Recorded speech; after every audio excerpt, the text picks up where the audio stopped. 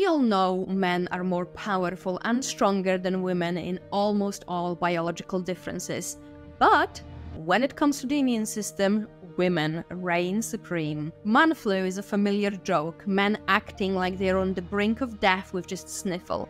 Research reveals that women's bodies naturally have more white blood cells and produce more antibodies compared to men. This means women generally have stronger immune responses. Women also tend to have lower blood pressure and longer lifespans, factors influenced by less engagement in high risk jobs and other biological differences, like higher estrogen levels. This hormone advantage means women catch cold less often, and even when they do, they recover faster than men. I get it, this isn't an easy pill to swallow, but ladies, the man flu is not a societal construct.